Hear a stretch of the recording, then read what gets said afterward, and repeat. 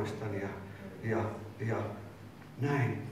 Niin että mun pitäisi palata johonkin semmoiseen olotilaan, jossa mä olin ollut vuosikaudet omassa elämässä. Ja mä en, mä en usein pystynyt sanomaan näille ihmisille yhtään mitä, mä vaan katoin niitä silmiin, koska musta se tuntui niin, kuin niin hölmöltä, että ne ajatteli niin.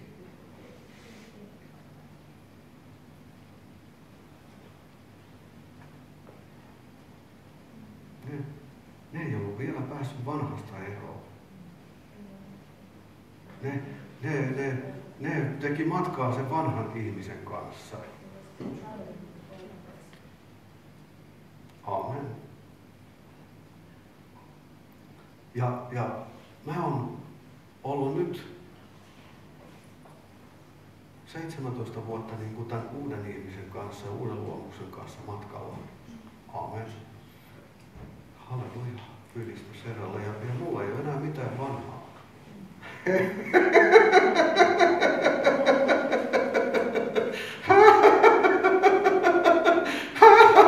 ja nyt sä kuulet tämän riemuhuudon.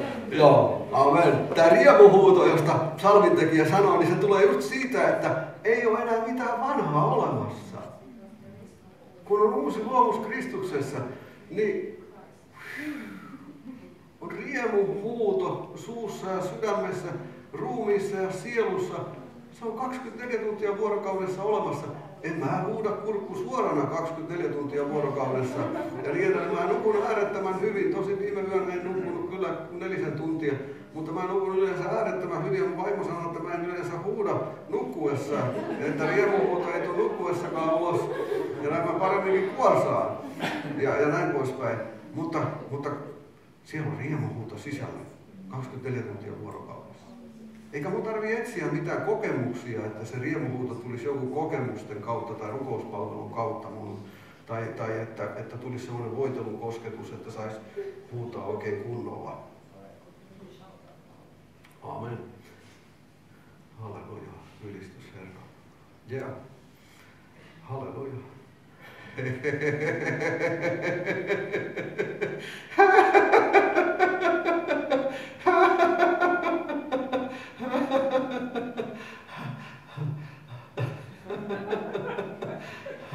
Halleluja. Joo. Halleluja. Eikö, eikö hankalaa tavata onnellinen ihminen? Monille suomalaisille on tosi ikävä, ikävä kokemus. Ne kokee sen ikävänä kokemuksena tavata onnellinen pastori. Onnelliset pastorit on aika harvinaisia. Mäkin olen 32 vuotta ollut pastorina, mä tiedän, aika harvinaisia. Ja näin. Ne puhuu onnesta, mutta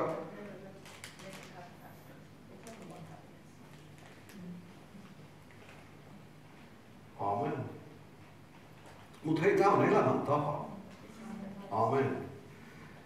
Kun ollaan uusia luomuksia Kristuksessa, niin se, että me ollaan täynnä uskoa ja täynnä iloa ja täynnä pyhää henkeä, niin kuin alkuseurakunta oli, niin tämä on elämäntapa. Tämä on alkuseurakunnan elämäntapa. Sen takia tässä meillä Pyhän Hengen seurakunnassa ja niin edelleen, meillä on tämmöinen elämäntapa täällä. Eikä vaan täällä, vaan kaikkialla, missä me ollaan. Halleluja. Ja praise the Lord. Halleluja.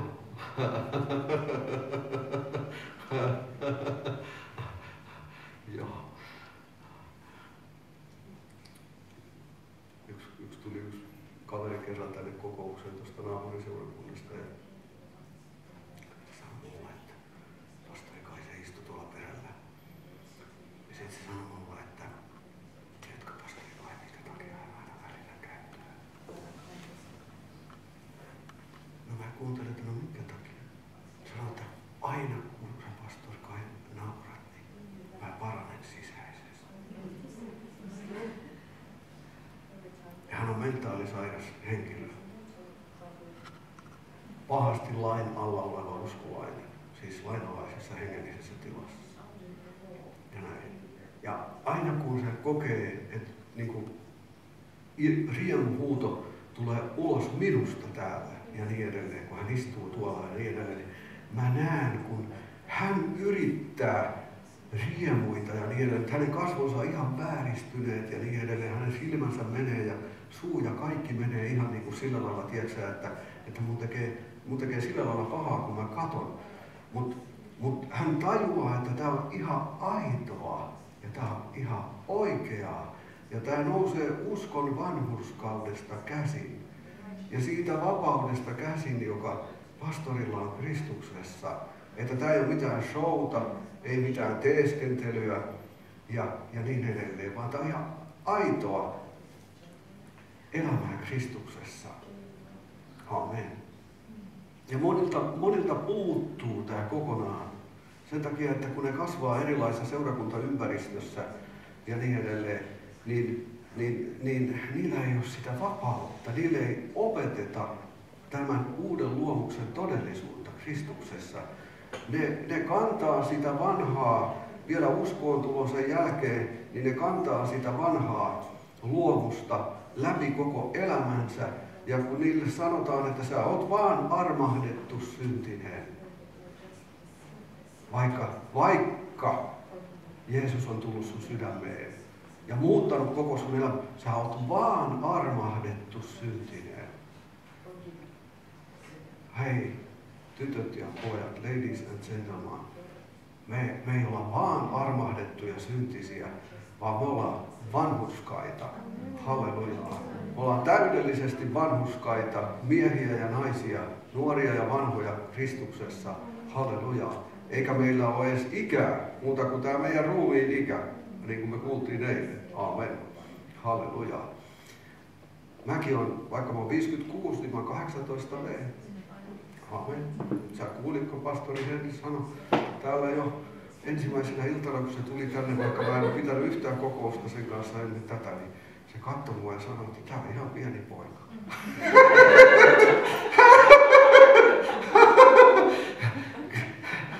Kyllä pyhä henki pyhän hengen tuntee. Amen. Halleluja. Meidän hengellä ei ole mitään ikää, koska meidän henki on ikuinen. Amen. Meidän sielu, se saa kokemukset tästä maailmasta ja tästä elämästä ja niin edelleen. Ja meidän ruumis vanhenee ja ikääntyy. Amen. Halleluja. Näin, näin tapahtuu meille jokaiselle. Mutta meidän henkemme, meidän henkemme, halleluja. Meillä oli yksi konferenssi täällä pari-kolme vuotta sitten tammikuussa ja, ja meillä on täällä konferensseja aina välillä ja pyhän hengen voitelu tuli mun päälle siinä konferenssissa. Mä palvelin täällä ja pyhän hengen kautta sain semmoisen äh, jakaa täällä ihmisille, että sä voit nyt pyytää Herralta ihan, että minkä ikäinen sä ikinä tahdot olla. Niin Herra antaa sen sulle.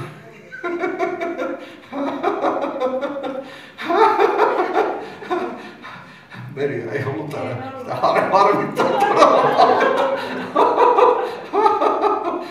Sitä ei ole tullut kertaakaan ennen eikä sen jälkeen toistaiseksi.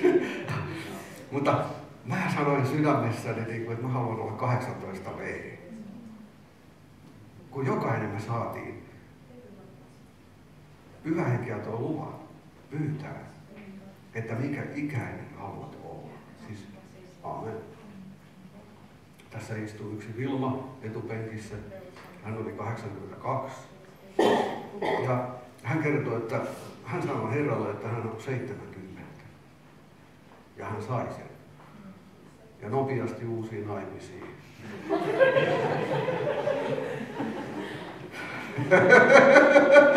Kun oli jäänyt leskeksi. Joo. Amen. Halleluja. Ylistys Herralle. Joo niin, niin älä nyt oman sielusi ja mielesi kautta niin kuin rajoita omaa ikääsi ja omia mahdollisuuksiasi. Amen. Mun isä, joka on jo taivaassa, niin, niin mä muistan, kun hän aina sanoi, että on olemassa 17-vuotiaita vanhuksia ja 70-vuotiaita nuorukaisia. Amen. Halleluja. Yes. Mutta, mutta tämä ei ole, tämä ei ole mitään sielullista iloittelua, ymmärrä. täytyy ymmärtää sielullinen iloittelu, joka nousee erilaisista kokemuksista. Se on sielullista iloa. Mutta riemullinen ilo ja ilo Herrassa ja niin edelleen, se nousee suhteesta Kristukseen ja Kristuksen kanssa Jumalaa. Se on pysyvä, se on hengen pysyvä olotila täällä, kun on uusi luomus Kristuksessa. Uusi luomus Kristuksessa tarkoittaa, että on uusi ihminen. Amen. Halleluja. Sen takia mä oon niin täältä yläpäästä vapaa. Amen. Kuinka moni teistä on täältä yläpäästä vapaa tänään? Muutamia on. Halleluja. Nimittäin kun sä oot täällä, täältä yläpäästä vapaa ja niin edelleen, niin, niin sä tiedät olevasi uusi luomus Kristuksessa. Amen. Sä oot saanut sen olotilan, jonka Jumala on sulle luvannut uudesti syntymisessä. Amen. Halleluja. Ylistys Herra. Praise the Lord. Yes. Yeah.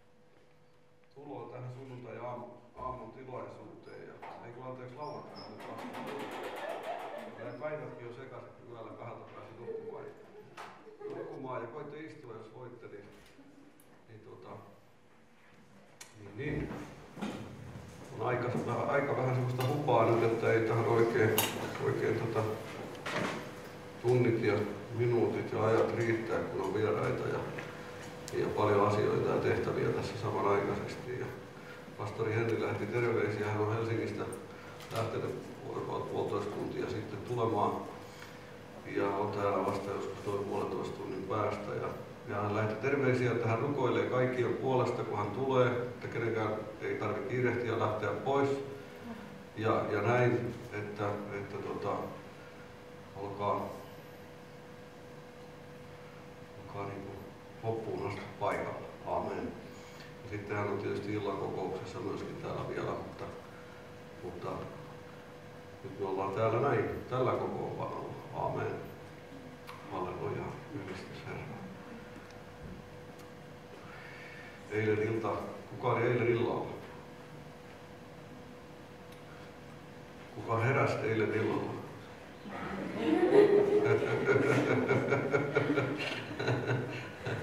Se oli kyllä ihan, ihan mahtava opetus. Opetus eilen illalla, mikä me saatiin täällä, täällä kokouksessa. Ja me ollaan enemmän kuin ruumis ja me ollaan enemmän kuin sielu.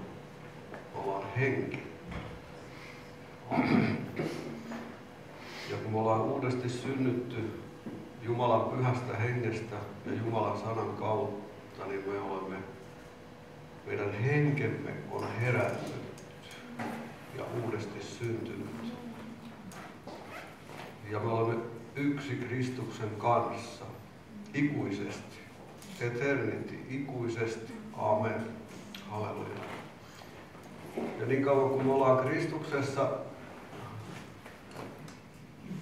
niin, niin meillä on edeltä valmistettu päämäärä, jonka Jumala tietää, johon hän on meidät kutsunut.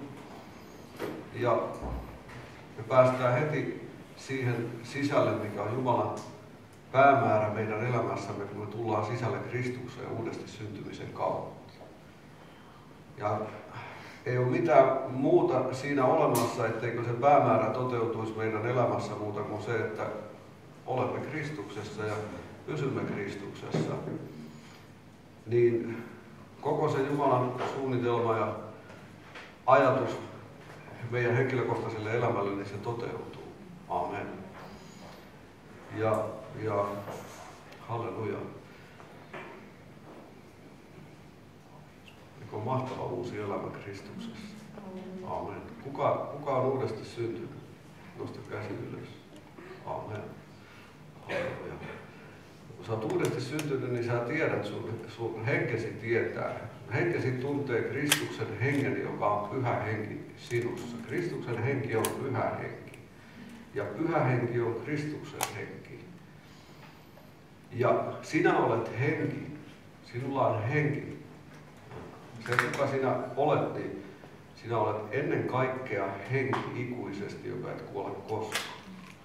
Ruumiisi kuolee eräänä päivänä. Tämä on vain matka varustus tämä ruumis tätä aikaa varten. Ja kun se riisutaan pois, niin sillä ei ole enää käyttöä sen jälkeen. Mutta henki on ikuinen. Ja kun Jumala loi meidät, niin, niin tämä on niin Jumalan, Jumalan järjestys ja, ja me, ollaan, me, ollaan, me ollaan tässä Jumalan suunnitelmassa mukana. Amen. Mä haluaisin jakaa tuota salmista, salmista teidän kanssa jotakin.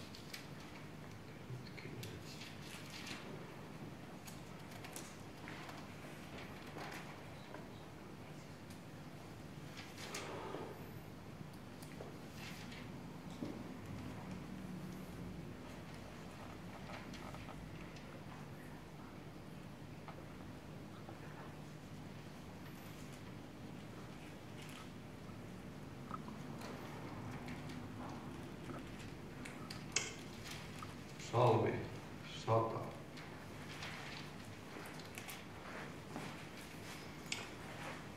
Tämä on kehoitus kiittämään Herraa. Kiitos uhri virsi. Kohottakaa riemuhuuto Herralle kaikki maa. Palvelkaa Herraa ilolla, tulkaa hänen kasvojensa eteen riemulla. Tietäkää, että Herra on Jumala. Hän on meidät tehnyt ja hänen me olemme, hänen kansansa ja hänen laitumensa lampaan. Käykää hänen portteihinsa kiittäen, hänen esikartanoihinsa ylistystä veisaten. Ylistäkää häntä, kiittäkää hänen nimeänsä, sillä Herra on hyvä. Hänen armonsa pysyy iankaikkisesti ja hänen uskollisuutensa polvesta polveen. Amen. Kohottakaa riemuhuuto Herralle. Amen. Halleluja. Riemuhuuto on semmoinen, semmoinen huuto, että se on vähän enemmän kuin pieni viipitys. Amen. Se on sellainen, että oksat pois ja pala latvaa, eikö niin? Amen. Halleluja. Ja mä en tiedä, oletko sä tottunut antamaan riemuhuutoja Herralle sun elämässä vai oletko sä tottunut vaan rukoilemaan?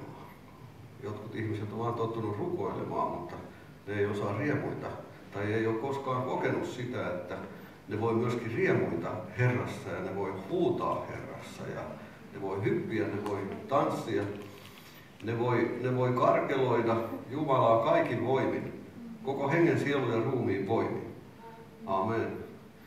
Ja kuningas David oli sellainen, vaikka hän oli mies, niin hän tanssi ja hyppi ja hän karkeloi Jumalan edessä ja hengessä, pyhässä hengessä, kaikin voimin. Amen. Ja hän oli, hän oli, hän oli kasvanut ja päässyt siihen yhteyteen Herran kanssa henkilökohtaisesti, että hänellä ei ollut mitään rajoitteita tässä suhteessa olemassa, ei mitään limiittejä. Kukaan ei voinut niin kuin, niin kuin, äh, estää häntä olemasta se, kuka hän oli Kristuksessa ja, ja, ja Herrassa. Amen. Halleluja. Ei se tarkoittanut sitä, että hän oli tyhmä. Se on niin kuin eri asia. Amen. Voisi olla sellaisia tyhmiä hyppyjä ja niin edelleen. Te olette varmaan nähneet sellaisia tyhmiäkin hyppyjä joskus, jopa kokouksissakin olette nähneet sellaisia tyhmiä hyppyjä ja niin edelleen. Kun katsoo, että joku heittelee, vetelee tyhmiä hyppyjä, niin siihen ei oikein sydän niin kuin yhdisty. Eli siellä ei ole paketti silloin kasassa ja niin edelleen. Että joku yrittää tehdä jotakin niin kuin Jumalalle ja näin poispäin. Mutta riemuhuuto Herralle on semmoinen, että sitä ei tarvitse yrittää tehdä. Aamen, se tulee ja se syntyy ja se on. Aamen. Halleluja. Ja, ja, ja silloin, silloin, halleluja, Herra saa kaiken kunnian ja ylistyksen ja kiitoksen ja palvonnan.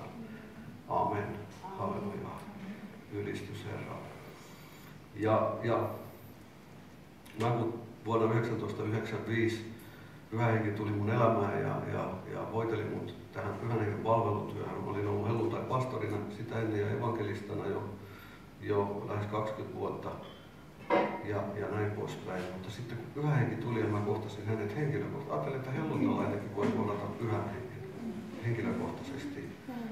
Vaikka olisi puhunut kielillä ja olisi rukoillut ihmisten puolesta ja opettanut Jumalan sanaa äh, seurakunnassa ja paimentanut lampaita ja ja karitsoita ja, ja kiertänyt ympäri Suomea yli kymmenen vuotta pitämässä herätyskokouksia ja, ja vierailu jos kaiken kokoisissa seurakunnissa ja niin edelleen ja näin poispäin. Kaiken sen jälkeen vielä helluntai pastorikin voi kohdata pyhän hengen.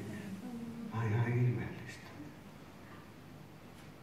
Jos helluntai pastori voi kohdata pyhän hengen, niin kuka tahansa voi kohdata pyhän hengen. siis helluntai pastorillahan luullaan olevan jo kaikki sen nimen perusteella, kun hän on helluntai-pastori, että hän ei enää tarvitse mitään, että hän vaan ainoastaan jakaa jo siitä, mitä hänellä on. Mutta mä olin, mä olin, niin, mä olin niin kuiva, raivi ja mä olin niin yksinkertainen, että, että mä vaan tarvitsin Jumalaa. Aamen. Helluntai-pastori. Ja mä en oikein osannut riemuita, riemuita enkä iloita sillä lailla että, että, että, että mä olisin ollut vapaa sydämessäni, hengessäni ja sielussani ja ruumiissani. Ja aina kun mä katselin sitä, että mä näin joskus aina ihmisiä, jotka oli vapaita. Suomessa ei kovin monta pastoria tainnut olla, jotka on ollut kauhean vapaita. Kun mä katselin ja niin edelleen riemuitsemaan ja iloitsemaan Herrassa. Ja jos joku pastori kulki kädet ylhäällä ja näin poispäin, niin sitä paremminkin katsottiin aika tuimin silmiä, mitä se miksi se noin on. Ja näin pois. Ja sehän menettää kaiken arvokkuutensa ihmisten edessä ja arvovaltansa. Sitä hän ei voi arvostaa enää sen jälkeen, koska se ei näytä pastorilta. Eikä kuulosta pastorilta. Ja, ja, ja, ja, ja näin poispäin. On, on, ihmiset on monien rajoitteiden takana, jos kerran pastoritkin on monien rajoitteiden takana, niin kuinka paljon myöskin kristityt on monien rajoitteiden takana elämässään, kun ei, ei olisi halu iloon ja riemuun ja kohottaa riemuhuuto Herralle. Amen. Halleluja. Ja kun pyhä henki tuli mun elämään ja niin edelleen, niin, niin silloin 1995, niin Mä kun kuljin, ensimmäinen kokous oli, kun hän oli koskettanut mut ja muuttanut mun, mun elämä ja mun palvelutyö, niin mä kuljin kädet ylhäällä tällainen näin vaan kokouksessa. Ja, ja tunninkin siinä vaan kädet ylhäällä rukoilin ja ylistin ja palvoin Herraa. Ja, ja, ja, ja, ja mun vaimonikin katseli, että kuka mä olen. Ei se ollut nähnyt mua ennen semmoisena.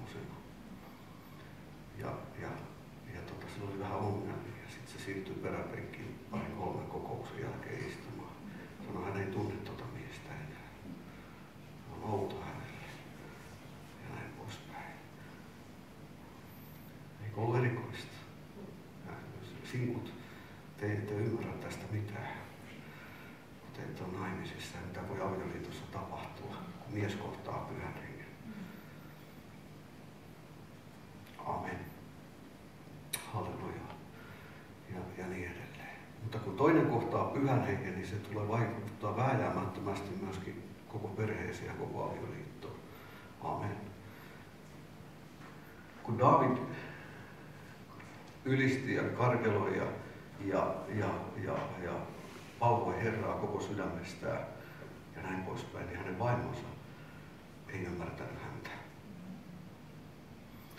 Vaimo itse asiassa, kun katseli sieltä kotoa käsiä näin, näin niin David tanssi ja hyppi ja karkeloi kaikki voimin siellä Israelin kansan keskellä, niin, niin, niin se oli tosi vihainen. Ja Raamattu sanoi näin, että halveksi hänen vaimonsa halveksi häntä sydämessänsä siitä, että hän hyppi ja karkeloi kaikin voimin Herran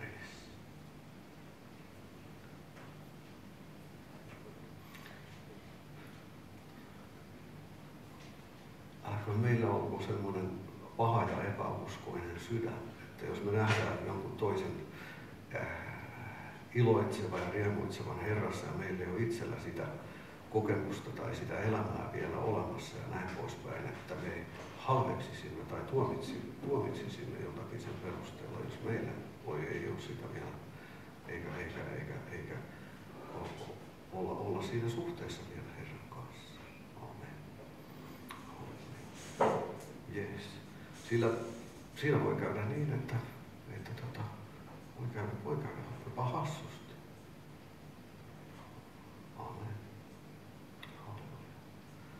Sä et ikinä tiedä, mitä Jumala tekee jonkun elämässä. Ja näin pyhänkin on opettanut mua henkilökohtaisesti myöskin hyvin varovaiseksi näissä asioissa, kun mä arvioin Jumalan hengen ilmenemismuotoja ja pyhän vaikutusta kristittyjen ja pastoreiden elämässä ja näin poispäin.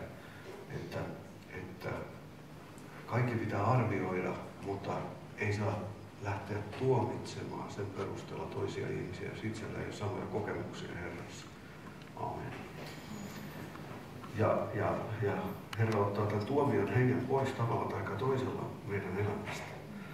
Joskus se tuomion henki voi vain tulla ihan siitä syystä, että, että on, on pelkoja sydämessä ja näin poispäin. Olla totuttu siihen, että meidän seurakunnassa ylistetään ja palvotaan ja, ja, ja ei olla oltu sellaisissa kokouksissa ja, ja, ja, ja näin, että et, et, et, et se voisi olla mahdollista. Tai sitten jos se on, niin se on hyvin hillittyä, hyvin rauhallista ja, ja, ja niin edelleen. Niin kuin Suomessakin on erilaisia, erilaisia tällaisia, ää, sanotaanko näin, että, että kun sä menet evankelisuuterilaisen kirkon tämmöisiin ylistystilaisuuksiin, niin ne voi olla hyvin erilaisia. Ne on hyvin rauhallisia monesti ja näin poispäin, mitä siellä on. Ja ollaan hyvin, hyvin korrektisti ja niin edelleen ja ylistetään ja palvotaan ja ei, ei paljon ruumis liiku eikä sielu värähdä ja näin poispäin, mutta lauletaan ja ylistetään ja niin edelleen. Sitten kun sä menet johonkin karismaattiseen äh, tapahtumaan Suomessa ja näin poispäin, niin siellä ihmiset hyppii ja tanssii ja laulaa ja kantaa lippuja ja, ja niin edelleen näin poispäin. Mennään ihan toiseen äärilaitaan niin kuin, niin kuin siinä Herran edessä olemisessa ja, ja palvomisessa ja näin ja, ja katsotaan, että voi mitä tämä on ja, ja, ja niin edelleen. Sitten, sitten kun sä menet johonkin herätykselliseen karismaattiseen tapahtumaan ja seurakuntaan ja niin edelleen, niin sä voit niin kuin katsoa, että ai, ai halleluja, siellä Jumalan voimakin vielä liikkuu samanaikaisesti, kun ihmiset palkoja ylistää Herraa. Ja, ja, ne täytyy pyhällä hengellä, ne alkaa puhua uusilla kielillä, laulaessaan ja palvoissaan ja, ja, ja, ja näin poispäin. Ja ihmiset ihmettelee sitä, mitä ne näkee ja, ja, ja näin poispäin. Voiko tämä olla ihan totta, onko tämä ihan mahdollista? Halleluja. Mä olin tuolla Skotlannissa viime viikolla Edinburghissa äh, viitisen päivää siellä.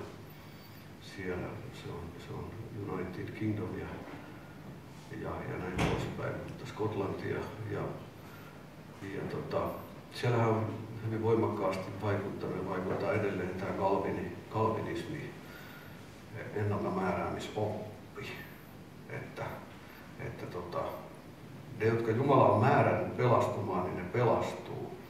Että evankeliumia ei tarvitse julistaa edes kenellekään, eikä kehottaa ihmisiä henkilökohtaiseen ratkaisuun ja ottamaan Jeesusta vastaan omaan elämäänsä sen tähden, että kun Jumala on ennalta määrännyt, ketkä ihmiset pelastuu, niin Jumala tietää, ketkä pelastuu ja niin edelleen, joten herätystyötä ei kannata tehdä ollenkaan, sielujen voittamistyötä ei kannata tehdä ollenkaan.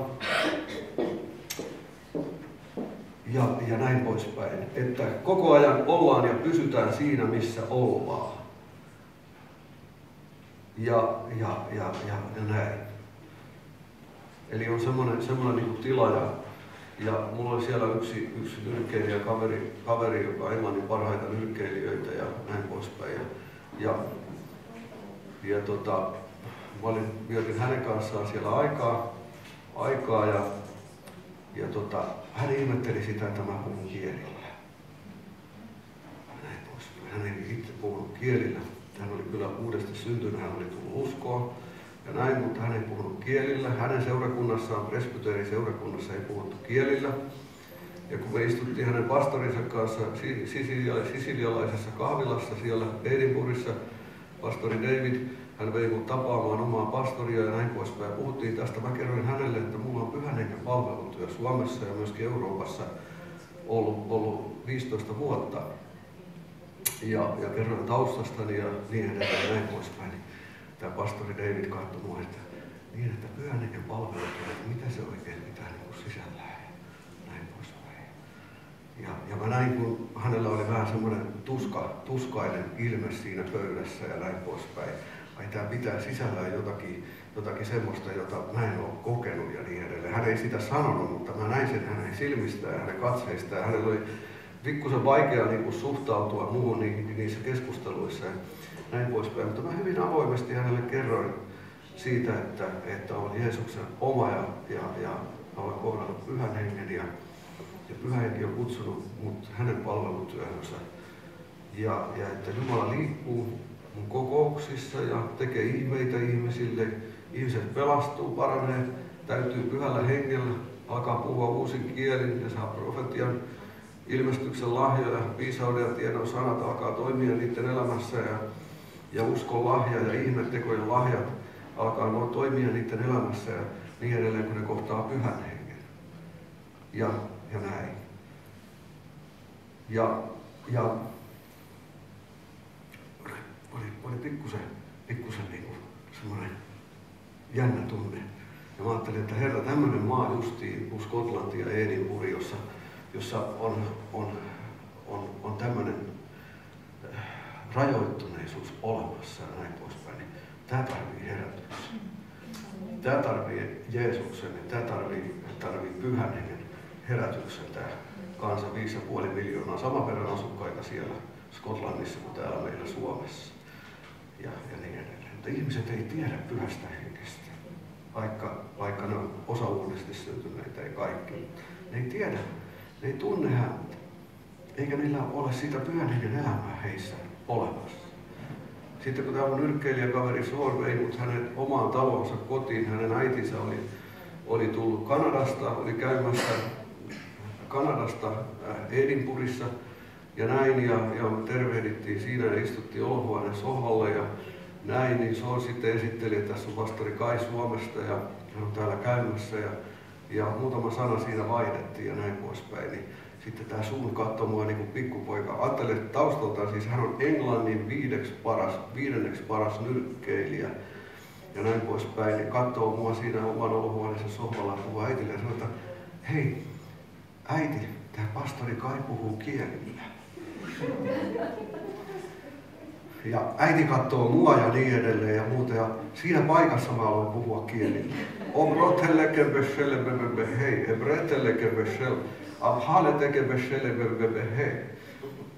Äiti katsoo mua ja niin edelleen ja nyökkää pojalle ja sanoo, Yes, it's Holy Spirit.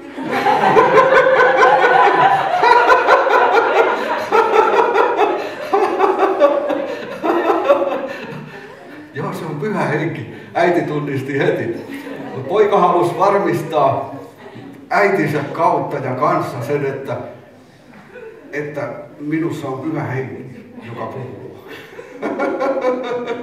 Kun ei ollut omassa seurakunnassa eikä omien pastoreittensa koskaan nähnyt puhuvan kielillä. Amen. Halleluja. Tiedätkö, että monilla, monet ihmiset tarvii ihan uuden kokemuksen ja kosketuksen pyhästä hengestä omaan elämäänsä. Amen. Niin, että ne, ne voi tulla riemulliseksi oikein uskossa ja näin poispäin. Enhän mäkään, kyllähän sä nyt mut näet, että mä mikään riemullinen persoona ole. Sä vertaat mua, mun vaimooni ja näin poispäin ja muuten, niin mun vaimohan on kuin suihkukone, se on 0,1 sekunnissa, niin se on ylhäällä ja, ja ilo ja riemu valtaa hänet ja valtaa kaikki ja niin edelleen, mutta mähän tarviin usein normaalisti ilman pyhää henkeä, niin mähän tarvitsisin niin kuin semmoisen matkustajakoneen kiitoradan, että mä saisin jonkun syttymään ilosta. Mutta, mutta kun mulla ei ole mitään persoonallisia lahjoja niin kuin olla iloinen, ymmärrätkö? Semmoinen, että mä kantaisin iloa ja niin edelleen. Mutta kun mä täytyin pyhällä hengellä, ja Herra antoi mulle kielillä puhumisen lahjan ja voitelun ja niin edelleen, niin tiedätkö, että ihmiset vaan alkoi täyttyä pyhällä hengellä. Ihan ja mä olin aina kasvanut semmoisessa uskossa lapsuudesta asti helluntai liikkeessä, että, että jos ihmiset täytyy ilolla ja riemulla ja niin edelleen, niin täytyy olla joku suuri evankelista tai profeetta tai niin edelleen puhumassa, että, että ihmiset voi saada semmoisen pikkusen ilon kokemuksen. Mä menin ensimmäisen kerran kymmenen vuotta sitten, kun Pyhä Henki kutsui mut ulos Suomesta. Ja mun englanti oli niin heikko, että kun mä menin puhumaan Riikaan Latviaan, kun mut kutsuttiin puhumaan ensimmäisen kerran, niin Taija, joka täällä eilen tulkas, niin Kimmo vaimo, mun veljeni vaimo, niin Taija oli mulla tulkkina, ja hän on mun assistentti ollut kymmenen vuotta. Niin hän tulkkas, mä puhuin suomeksi, ja hän tulkkasi englanniksi, ja sitten toinen kaveri tulkkasi latviaksi ja kolmas kaveri vielä sitten tulkasi venäjäksi. Oli latvialaisia ja venäläisiä kokous. Ja, ja ensimmäinen kokous Suomen ulkopuolella kymmenen vuotta sitten ja näin poispäin, niin mä, me istuttiin, tai oltiin siinä kokouksessa siellä Riikassa siinä seurakunnassa ja mä nousin sen seurakunnan eteen ja se sali oli ihan tupaten täynnä ihmisiä. Ihan seinän vierustat ja kaikki paikat täynnä niin paljon ihmisiä kuin ikinä olla voi. Ja mua jännitti ihan hirveästi. Mä sanoin, että ei pyhä henki, kyllä sä nyt oot tehnyt virheen. Että, että ajattele, mulla on tässä suomen kieli ja Taija tulkaa englanniksi ja tulee kaksi muuta tulkkia perässä. Että kyllä tässä nyt on niin tapahtunut joku tosi suuri virhe tässä asiassa, että mä oon täällä. Että mä oon, mä oon kaikista viimeisin ihminen siis tässä, tässä niin kuin saarnaamaan ja rukoilemaan ja, ja palvelemaan ihmisiä Suomen ulkopuolella. Mutta kun mä nousin niiden ihmisten eteen siinä seurakunnassa ja mä katsoin, ja Taija oli toisella puolella, pari tulkia toisella puolella, ja mä en kerkinyt sanaakaan sanoa suusta, niin mä taisin käten tällainen nostaa ylös. Ja katoin vaan ihmisiä, niin Jumalan tuuli täytti sen talon ja ne ihmiset, ja ne alkoi tippua penkeiltä. Monet niistä alkoi puhua uusilla kielillä. Jotkut lensi maahan, jotkut parani ja näin poispäin. Mä olin ihan silmät pyöreinä.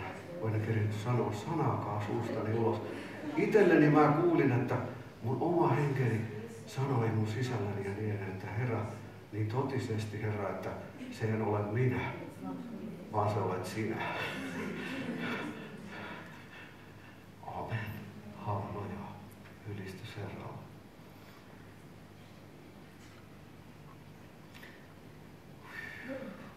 Tiedätkö, että Jumala tahtoo vapauttaa meidät semmoisesta väärästä itseluottamuksesta. Tiedätkö?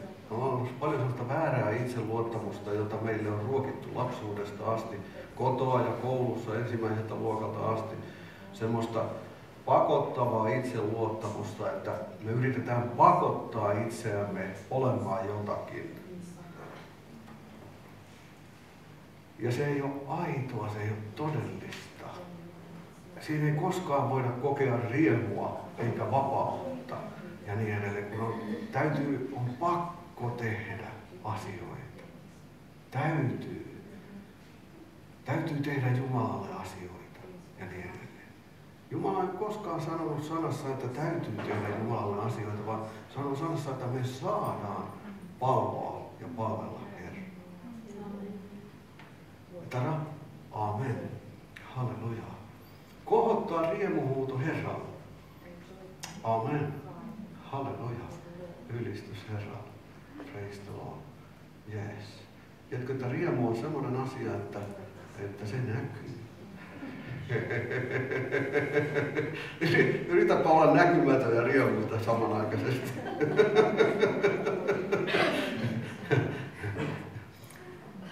Yritäpä sanoa ihmisille, että minä riemuitsen.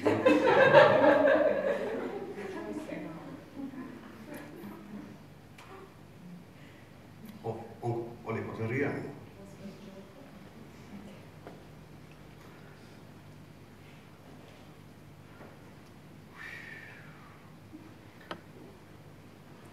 Musta oli mahtava tämä eilinen illan opetus siinä henges, henki, sielu ja ruumis, kun pastori Henri täällä jakoi, kun se vapauttaa meidän henkemme ja meidän sielumme ja ruumiimme.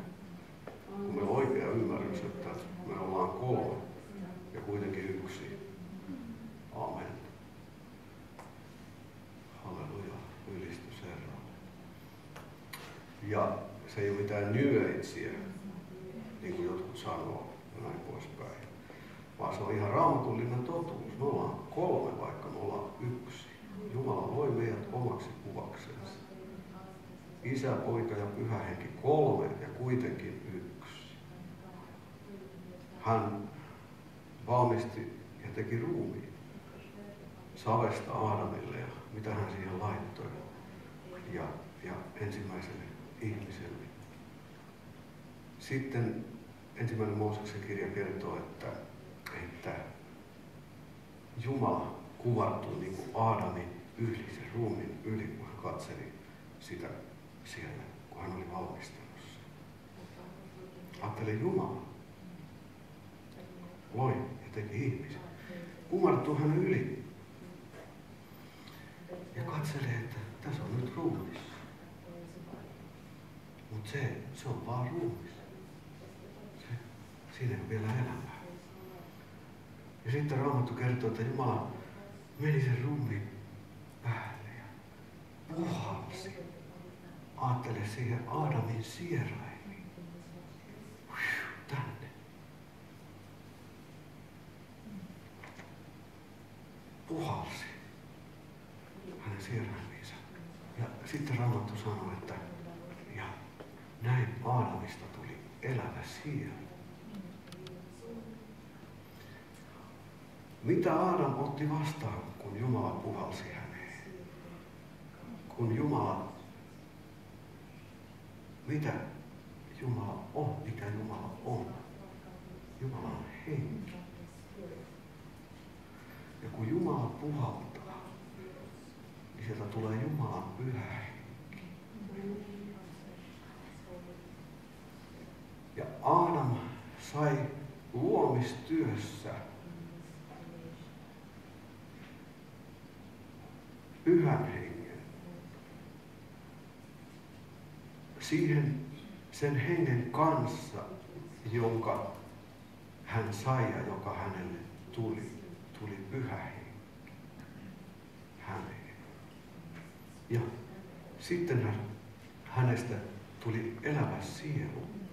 Eli hän sai älynsä, hän sai ymmärryksen, hän sai tunteet, hän sai vapaan tahdon ja niin edelleen. Ja se kolminaisuus alkoi toimia hänessä. ihan Jumalan tahdon mukaisella tavalla. Amen. Ja me voidaan lukea ensimmäistä Mooseksen kirjasta, kuinka Adamilla oli todella hyvä olla tässä Jumalan yhteydessä. Pääsi heti kättelyssä siihen sisälle. Amen. Ja Eeva, joka tehtiin Aadamin kylkiluusta ja näin, niin, niin, tota, niin hänelle vaimoksi ja kaveriksi ja näin poispäin, niin hän, hän sai saman pyhän hänestä tuli elävä sielu ihmisen ruumiissa. Yksi, mutta kuitenkin kolme. Amen. Halleluja.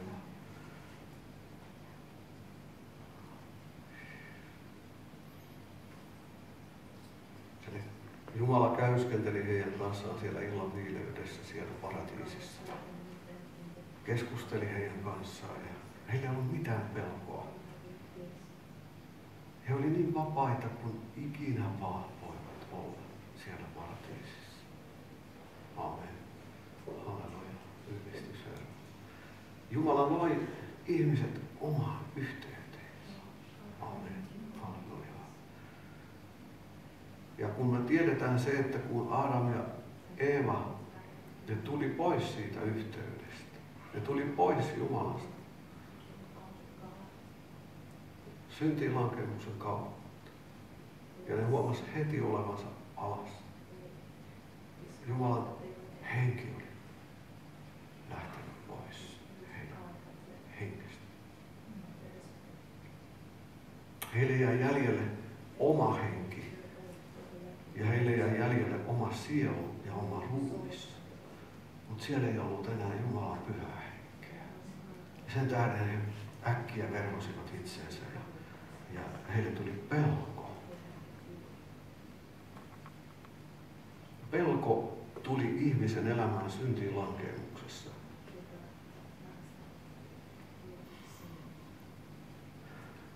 Mutta nyt, kun me tullaan Kristukseen, amen, halleluja, me tullaan Kristukseen uudesti syntymisen kautta, niin, niin lähtee synnit pois.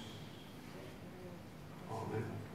Me ei olla mitään armahdettuja syntisiä enää, vaan me ollaan, me ollaan ihan puhtaita ja pyhiä, sanoo Raamattu. Amen. Halleluja. Toinen korintolaiskirja 5.17 sanoo, että jos joku on Kristuksessa, niin hän on uusi luomus. Se, mikä on vanhaa, on kadonnut. Katso, uusi on sijaan Amen. Ja, ja se tarkoittaa silloin sitä, että se syntinen ihminen, niin sitä ei ole enää olemassa.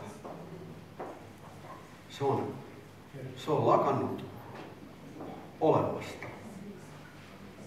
Amen. Halleluja. Koska se, mikä on vanhaa, niin se on kadonnut. Tämä nyt ei tarkoita, monesti tämä luetaan, tämä toinen korintolaiskirja 5.17 sillä tavalla, että se tarkoittaa ää, syntisen elämän tai uskonnollisen elämän tekosyntejä. Että ne, synnit, ne tekosynnit on kadonneet. Mutta kun sä luet sen täältä, täältä toinen korintolaiskirja 5.17, niin se tarkoittaa, tarkoittaa ei ainoastaan, että synnit on hävinnyt, vaan että ihmisestä on tullut uusi luomus kokonaan. Amen. Luetaan sitä.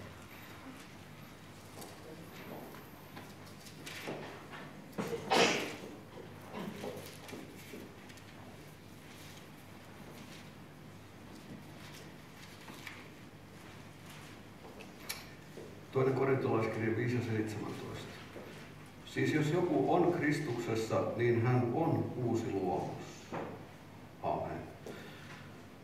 Nyt me nähdään, että kaikki ihmiset ei ole Kristuksessa vielä eihän. Amen.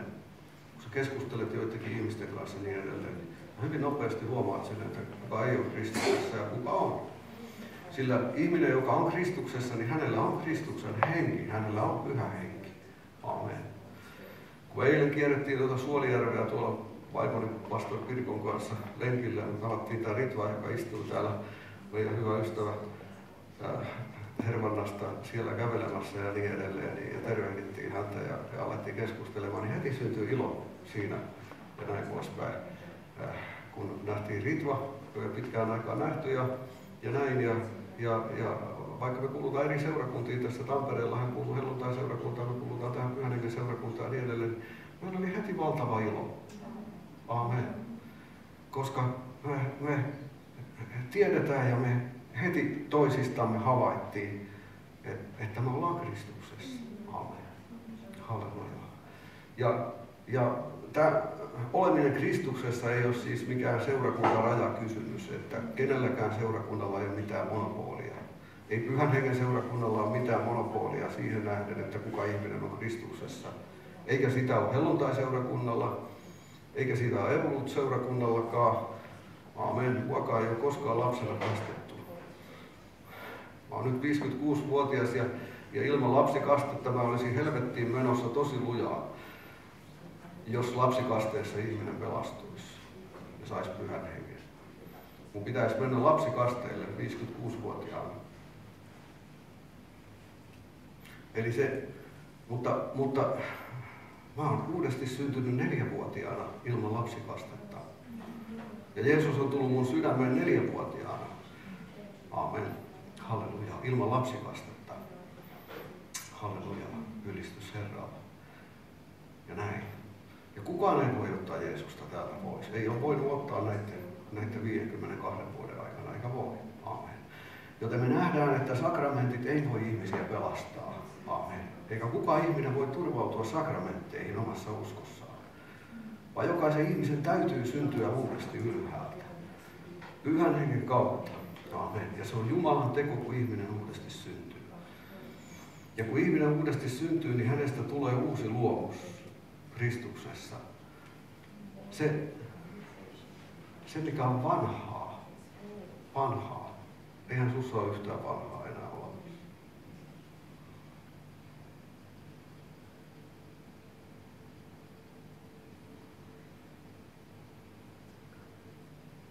Ja jotkut Mä, mä, mä, mä, mä kasvoin semmoisessa opetuksessa uskontulon jälkeen ja niin edelleen, että mulla opetettiin sitä, että aika monesti, että vanha Aadami se siellä edelleen kummittelee. Että se on se vanha Aatu, pastor Kai, että, että älä kuvittele, älä ajattele yhtään sen enempää. Se on se vanha Aatu, joka siellä pyrkii koko ajan pinnalle ja, se on, se on semmoinen kaveri, että se ei pääse siitä koskaan eroon tässä ajassa. Että se vanha Aatu pysyy sun elämässä, että sitten vasta kun sä oot taivaassa kerran, niin se vanha aatu on kuollut ja kuopattu.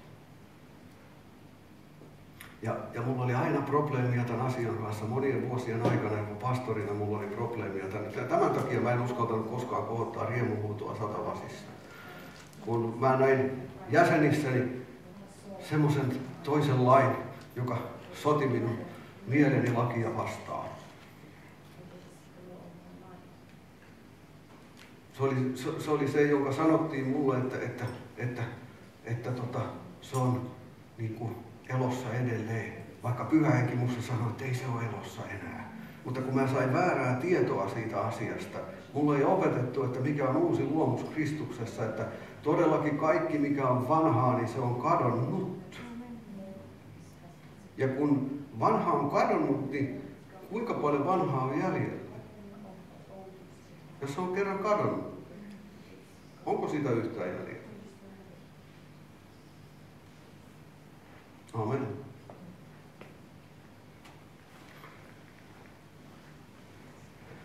Ja katso, uusi on sijaan tullut. Amen. Halleluja. Ylistys Herra.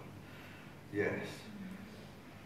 Mä muistan, kun pastor Pirkko, mun vaimoni, vaimoni uudesti syntyi 21-vuotiaana ja me asuttiin yhdessä, yhdessä tuolla Raholassa Jurvalanpadun vitosessa ja, ja me oltiin kahdeksan kuukautta oltu just kihloissa ja, ja tota, me asuttiin avoliitossa. Ja sitten mä tulin viikon päästä uudelleen Jeesukselle, kun mä olin seitsemän vuotta ollut maailmassa, kun mä näin kuinka hänen elämänsä todella muuttui ja Jeesus muutti hänen elämänsä. Hän oli luterilaisen kodin lapsi, ja niin edelleen ja lapsena kastettu, mutta silti hän ei ollut koskaan löytänyt Jeesusta elämäänsä. Ja mä taas, jota ei ollut lapsena kastettu, niin mä olin löytänyt Jeesuksen elämääni, mutta mä olin kuitenkin saanut kurpaa Jeesukselle 13-vuotiaana. Ja olin maailmassa seitsemän vuotta niin, että, että en halunnut elää yhdessä Jeesuksen kanssa. Mutta sitten tuli uudelleen Jeesukselle Pirkon kanssa silloin, silloin ja näin. Ja, ja Pirkko oli tuolla Harlan paperitehtaalla Tesovalla töissä kuusi vuotta siihen aikaan. Ja kun hän meni aamulla sitten työpaikallensa sinne, kun hän meni kuuteen aamuvuoroon, niin hän nousi usein jo neljän jälkeen aamulla ylös ja sitten hän lähti kävellen se kolmen neljän kilometrin matkan sinne työpaikalle. Ja hänellä oli koko ajan hyvä sanomalehtiä jo aamulla, kun hän meni niin kuin töihin ja niin edelleen, kun hän tapasi ihmisiä siellä. Niin hän jakoi niille hyvä sanomalehtiä ja kertoi, että Jeesus on hänet pelastanut. Ajattelee aamulla ennen kuutta. Riemuhuuto oli niin suuri. Aamen. Mä en tiedä minkälainen riemuhuuto sulla on, että jos sä vasta illalla kello 19 heräät siihen ja niin edelleen, niin se on vähän, vähän semmoinen riemuhuuto, joka pitäisi niin kuin saada uutta tulta. Amen. Mutta hänellä oli tämä riemuhuuto suussa ja, ja hän jakoi siellä, siellä matkalla Raholasta Tesomolle, niin hän jatkoi, jakoi hyvä sanomalehtiä ihmisille. Ja sitten kun hän meni työpaikalle, niin, niin siellä aina syntyi valtava jono ihmisiä, tuli hänen koneelleen, kun hän oli lautasliinoja pakkaamassa siellä. Ja, ja hän oli ollut siellä töissä jo, jo pari kolme vuotta, niin ne ihmiset näki ja tunsi hänet ja tiesi. Ja ne näki, kuinka hänen elämäänsä tuli tämä ilo, riemu ja vapaus, jota hänelle ei aikaisemmin ollut. Ja hänestä oli tullut uusi luomus Kristuksessa. Niin jono, jonottain ihmiset oli hänen, hänen koneellaan niin kuin kysymässä ja kuuntelemassa häneltä. Ja kun ne teki urakkatöitä siellä ja näin poispäin, niin, niin, niin pomot vähän suuttu siitä ja niin edelleen. Ne, ne, ne urakat ei oikein toimi kunnolla, kun ne meni aina Pirkon kyselemään häneltä uskon asioista ja, ja näin. Mutta eihän se Pirkko ollut siihen syyllinen. Sanoi, että hänen urakka teki tosi hyvin, hän sai hyvää palkkaa. Hän vaan pakkas laulasliinoja ja, ja porukat kävi siinä kysymässä häneltä. Että eihän se hänen vikansa ole. Mutta sitä kun jatkui jonkun aikaa ja niin edelleen, ja koko, siellä oli pari, parisataa henkeä töissä ja näitä ihmisiä, joitakin tuli uskoon siellä, siellä Harlan paperitehtaalla, hän ohjasi heitä Jeesuksen tykö joitakin ja näin poispäin. Siellä oli herätys koko sillä työpaikalla ja, ja näin, niin, niin yhtenä päivänä kun hän meni sinne, sinne, sinne tota, työpaikalle, niin tuli kaksi erääseen seurakuntaan kuuluvaa vanhempaa naishenkilöä hänen tykönsä ja ne sanoi, että voisiko sä tulla vähän täällä. Ja, ja sitten kun Pirkko meni niiden tykö, niin ne kaksi naishenkilöä sanoi hänelle, että voisitko sä ottaa vähän rauhallisemmin täällä työpaikalla. Että, että odota vaan, että kyllä se, kyllä se kohta, kohta sammuu sunkin elämässä.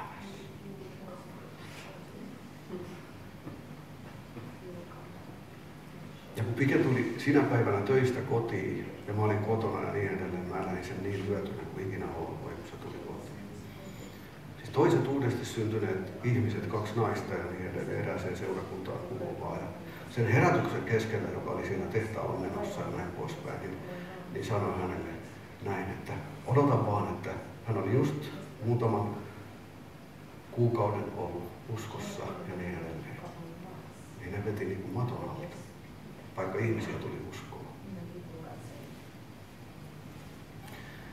Niin, tiedätkö, että ihminen voi kadottaa sen, että hän on uusi luomus.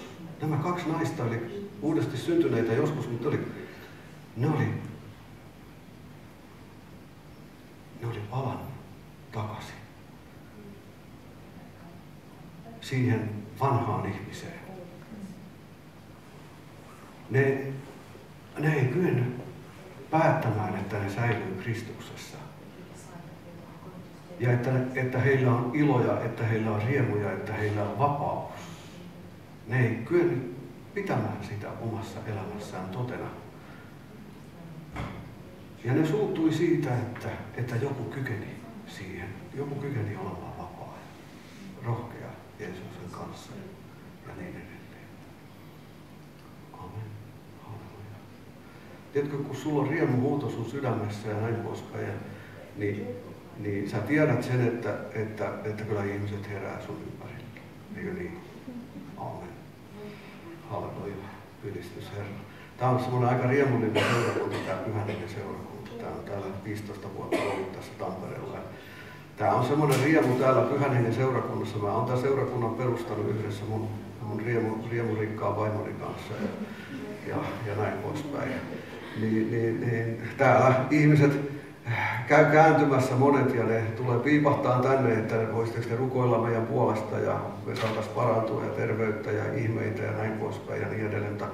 Mutta, osa niistä ihmisistä niin kuin ei koskaan palaa tänne ja näin poispäin.